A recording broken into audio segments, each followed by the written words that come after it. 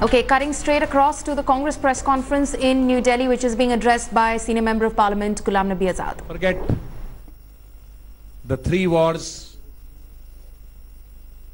we had with Pakistan.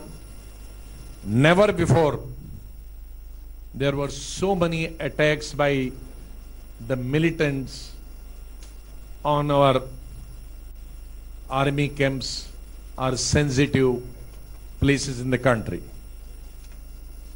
Pathankot, air base, that was attacked. Pampur was attacked. Uri was attacked. Nagrota was attacked.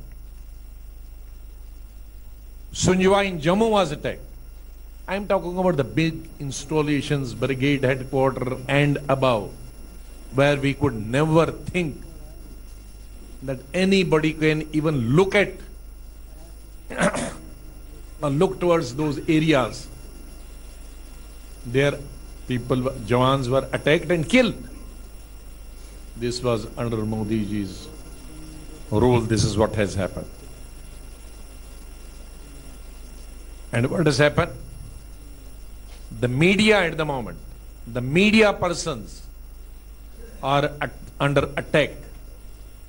I was uh, watching yesterday television, some program. How the media persons are getting threat. Death warrant state, not from the militants. I have got death warrants from militants number of times, but not from the associates of the center ruling party and organizations very close to the center government who are supposed to protect the countryman and the media person having direct or direct indirect association with the ruling party getting threat from that it is unheard in any part of the world. The external dimensions is everything okay with our neighboring countries or all our neighboring countries wholeheartedly with us what has happened to Doklam we don't hear anymore because nobody is allowed to tell the nation the factual thing. The recent visit of Prime Minister to China, very mysterious. We have had earlier also very mysterious visit of Prime Minister attending the marriage and birthdays in Pakistan.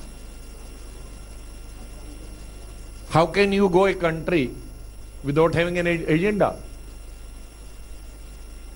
Does our Prime Minister is so free that he can visit countries three times, four times, five times, sometime with agenda, sometime without agenda, sometime to attend party meeting, sometime to attend a marriage party, sometime to birthday? Is India's country, country uh, is India's Prime Minister so free? So this is our national security, I'm sorry to say. Corruption की बात।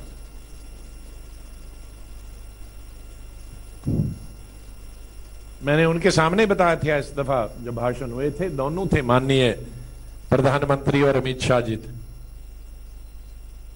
जब राष्ट्रपति के अभिभाषण पे भाषण हो रहा था, दोनों बैठे थे। मैंने कहा, आपने दो करोड़ लोगों को तो रोज़गार नहीं दिया। हर साल में दस साल में, पाँच साल में दस करोड़ को देना था, वो भी नहीं दिया। और जिसके पास था, वो भी डिमोनेटाइजेशन में। और जी जीएसटी में आपने छीन लिया। लेकिन कम से कम बीजेपी के नेताओं के पास एक बहुत बड़ा फार्मूला था। कि पचास हज़ार को एक साल में, अस्सी करोड़ में बदल दिया जा सकता है। वो फार्मूला तो हमसे शेयर करते। तीन महीने या एक साल में। दोनों बैठे थे। मैंने कहा, अभी भी कोई मौका है इसको पूरे सदन में? देश के सामने हम कोई इंक्वायरी नहीं मांगेंगे। लेकिन कम से कम करोड़ों बच्चों का तो फ़ायदा होगा। वो भी दे दें कि भाई पचास हज़ार में अस्सी करोड़ का कैसे फ़ायदा हो सकता? है इसी को कहते हैं, खाने नहीं देंगे, लेकिन खुद ज़रूर खाएँगे।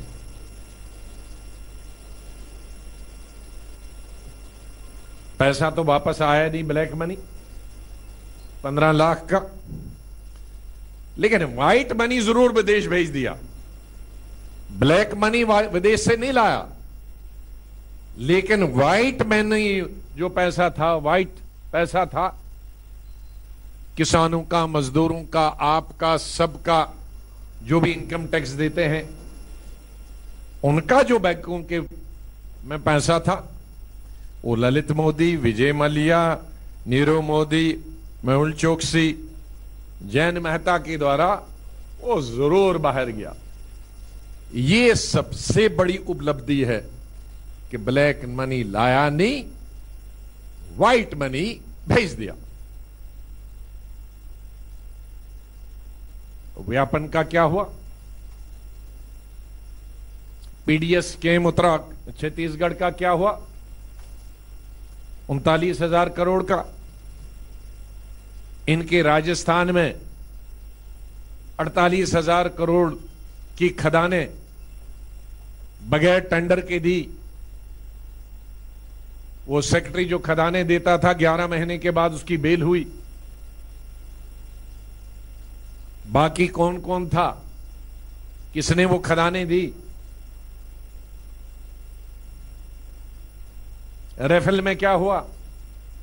रेफेल डील, जो यूपीए गवर्नमेंट में 526 करोड़ थी। तीन साल बाद, दो साल बाद आपने वही रेफेल 1617 करोड़ में एक पीस खरीदा। 36 पीसेस के एयरक्राफ्ट के इकतालीस हज़ार करोड़ रुपए आपने ज़्यादा दिया। कांग्रेस प्रेसिडेंट राहुल गांधी थक गए। लोकसभा में जवाब मांग के मांगते हैं, हम लोग राज्यसभा में थक गए। दुनिया थक गई, आप थक गए लिख के। और पढ़ने वाले थक गए पढ़ पढ़ के। लेकिन कोई जवाब नहीं आता है, मन की बात में उसका चर्चा नहीं होती। आर्थिक देश क्या, हालत क्या है? What is the economic condition of India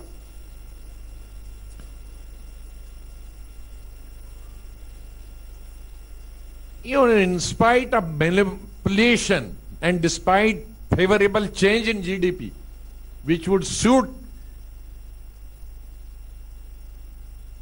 to the present government, even according to the net new favorable change in GDP, the India's GDP is the lowest in four years in comparison to our period. The trade deficit in three years is the highest. What about export? What about the manufacturing? In 2013 and 14, the exports were 19.5 lakh crore. And what is today? 2017 18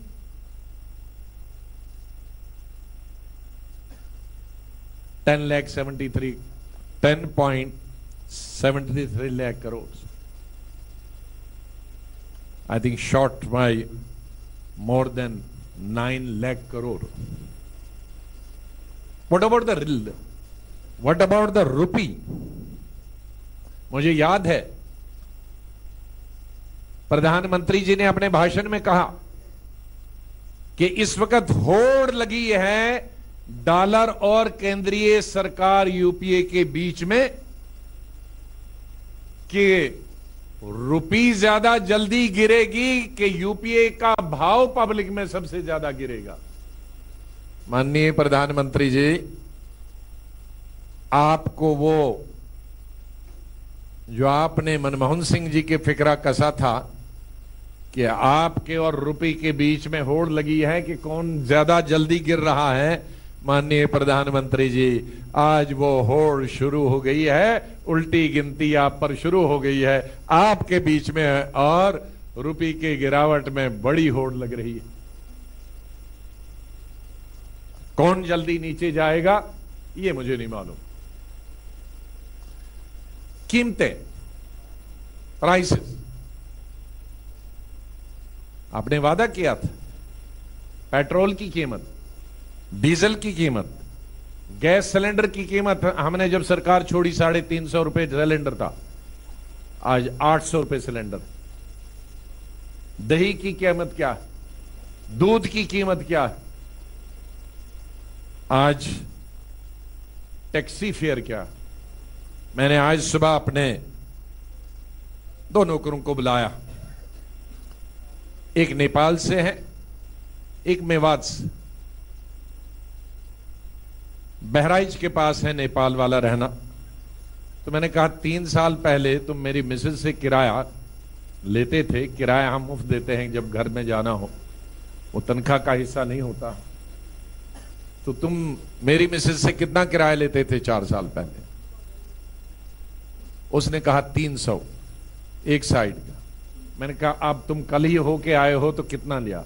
कहा, छह सौ रुपये छह सौ रुपए ये आज सुबह की दो घंटे पहले की मैं बात कर रहा हूँ। तीन सौ था, अब छह सौ। मैंने मेवात वाले को बुलाया, नो वाले को। मैंने कहा, तुम कितना किराया देते थे? कहा, पच्चीस रुपए। तो मैंने कहा, अभी तुम कल ही आए हो या दो दिन पहले आए कितना दिया? कहा, बहत्तर रुपए। तो ये है कास्केडिंग इफ़ेक्ट पेट्रोल और डीजल की कीमतों का ये तो मैंने दो मिसालें आज सुबह देखी। ये घर घर की कहानी है, ये स्टेट स्टेट की कहानी है। ये हर पेट्रोल जो अपने खून पसीन जो सरकारी तो उसको सरकारी लेता है, लेकिन अपने पैसे से खून की पसाने कमाई से जो पेट्रोल और डीजल डालता है, ये उसकी कहानी।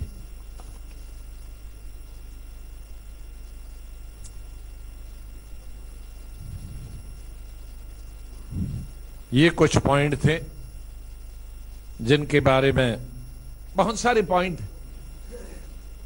इसके लिए तो हर दिन अगर चार घंटे होंगे वो काफ़ी है क्योंकि Slipping into a short break, stay tuned to India Today News and Updates. will continue on the other side.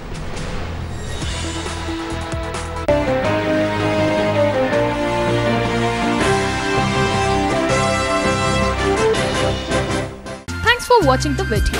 For more such news and updates, please like, share and subscribe to India Today. Also check out our other great videos from our channel. We know you will love to.